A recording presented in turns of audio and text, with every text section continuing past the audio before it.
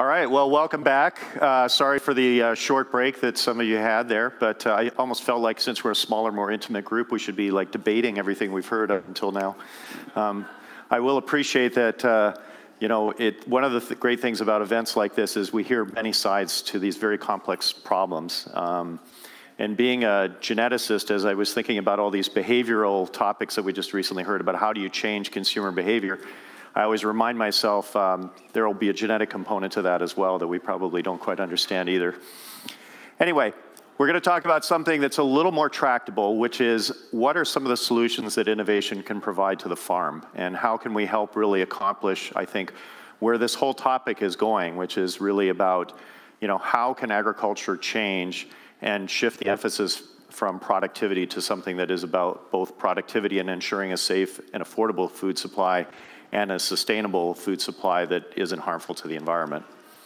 Um, as with anything that we discuss in the future, we always have to have a safe harbor statement.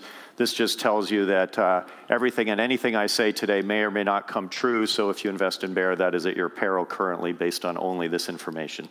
So I'm not going to spend too much time on this slide because I think a lot of the points have been made earlier today. Um, maybe just a couple of things. First of all, I fundamentally believe that innovation can help us get there. Um, Bayer, we spend more than 2 billion euros a year in research and development, more than any other company in the agricultural sector. Um, it's a big investment and it's a big bet that what we can bring to farmers can help farmers be successful in this. And that's maybe the second point.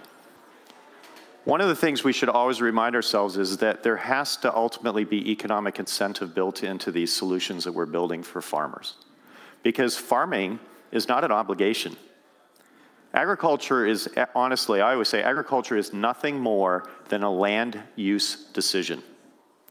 And farmers do not need to use land to produce food. You know, one of the very interesting things that's going on, for example, in the Midwest right now is there are farmers being approached by solar panel companies where they're leasing the land from a farmer, and this is highly productive land. So we're not talking pasture lands or lands that have very low use. We're talking about land that is currently very high, has very high productivity, and solar panel companies are coming in and offering the farmer twice as much as they can earn growing a crop. What choice do you think they're going to make? In go the solar panels. And that's not to suggest that that's where everything goes. But I think we have to have a system in place that ultimately will provide the appropriate economic incentives that builds the balance of what we're ultimately trying to achieve, which is how to help customers, I'm, for me at least, farmers, make appropriate choices to help us in this tremendously challenging balance between productivity and sustainability. I want to spend the rest of the time with you just over the next few minutes is talking about just three new examples of innovation that I see as sort of sentinels of where we can go with innovation and how it can help us achieve this balance. The first one is probably the biggest one. Um, and what this is, is what we call short stature corn. I want you to think about the Green Revolution and Norman Borlaug and what was achieved in terms of food production for both wheat and rice by reducing the overall height of the crop. Now, in that instance, what they were really trying to achieve is allowing the crop to be then use more fertilizer to become more productive. In this instance, we're choosing to lower the size of the corn crop for different purposes and reasons that I think really fit in well with where we're going. So let me let, share with you what those purposes are. So first of all, and maybe the most obvious from this picture is hopefully you can pick out the short stature corn. It's the rows of corn that are still standing. Right next to it, you see corn that is conventional corn, so it's the same genetics, just we have the shortened version on the, on the right side. And what you see is the standability of the crop. So one of the big challenges farmers face around the globe is with conditions coming from wind or other types of conditions, which basically cause the crop to lodge or what we call green snap. And that results in crop loss. So you have a lot of corn that's down, it's not gonna be harvestable, you have significant yield reduction. And these instances of wind conditions actually are, are increasing. Um, two years ago, we had in the Midwest a tremendous windstorm that swept through a section of the Midwest, hit millions and millions of acres there, and just devastated um, those acres of corn. A lot of our short corn plots were still standing. So not that it's wind proof, but it's substantially better to helping the farmer be successful with, with the climatic conditions that are changing. The second one is the opportunity it represents to help a grower get later into the season in things like nutrient application. So we heard earlier today about the fact that much of the fertility that gets applied onto the field doesn't actually end up in the plant. One of the solutions to help with that is, is to better have better optimization of timing of when fertility is applied. When you have a shorter corn crop, you can actually get in with ground equipment because the booms can go over the top of the field and allow the farmer to do late in season nutrient application. So it's an opportunity for precision application of fertility, which helps us to be more efficient with the, with the use of nitrogen fertilizers. A third thing that it does as a crop is it also allows us, because you can pack more plants, because it's more resilient to these wind conditions, we can actually plant, we can pack in more plants per hectare. So we can increase the planting density. That ultimately translates into more productivity. So you get more productivity per hectare, which ultimately also helps with the agricultural intensification and minimizing the, the footprint of agriculture in that corn crop. And then the last one where we're still investigating, but it's very interesting, is as we qualitatively look at short stature corn, we see that there's more carbon ultimately that we see going into the root system. And that's an opportunity for carbon sequestration, which is a very important part, I think, of what we need to drive harder in agriculture, which is how we can grow crops in a carbon positive way where we're actually sequestering carbon into the ground and keeping it there. So putting more roots into the ground is a mechanism of putting more carbon into the ground. So really amazing product. We see this actually fitting literally on every corn acre around the globe ultimately. And we have an approach technically where we're starting with our plant breeding to introduce it into the crop. We'll follow that on with a biotechnology version, which is a better version of the technology. It allows us to have more adaptability across more acres. And also we have in our early research programs uh, genome edited versions that we're building as well to further expand the footprint.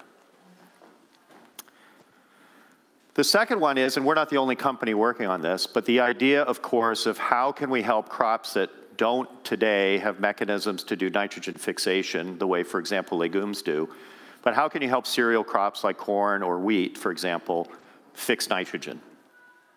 And the path to that is potentially through the use of microbes that naturally do N fixation and either selection and ultimately adaptation to the corn crop to make that work and make it happen. Our approach has been to use synthetic biology. So we're applying synthetic biology through partnerships. We have a partnership with a company called Ginkgo Bioworks um, in the US, which is a leader in the synthetic biology space. And working together with Ginkgo, we've had a joint venture working on this whole concept of how can we engineer microbes that basically will infiltrate the corn plant, fix nitrogen from the atmosphere, and then provide it to the plant as an alternative source of nitrogen. And we have some very lofty goals in doing this. There are other startups in the space. Uh, some of them are in the audience today, like Pivot Bio. They also have already even products in the market which are not driven by synthetic biology, but are also trying to help farmers come up with solutions that they can provide to a grower to help reduce their synthetic nitrogen need. And the beautiful thing about nitrogen coming from biological source like that, of course, is it's right there and it's immediately available to the crop. So also very exciting and a very interesting space. And I think synthetic biology in general is going to be a toolbox that we're going to apply to a, host of other problems in the future as well. And then the last one, probably the one you've not heard very much about, is a very interesting one, which relates to the whole idea of how do you keep carbon in the soil. So I always like to think about carbon sequestration really in, in farm fields is anchored on a couple of really very basic agronomic principles. The first is the promotion of no-till or minimal-till agriculture, because it's like a pie crust. The minute you break that crust with a plow, you release carbon into the atmosphere. So one of the best things farmers can do to ensure carbon stays in the ground is not to till.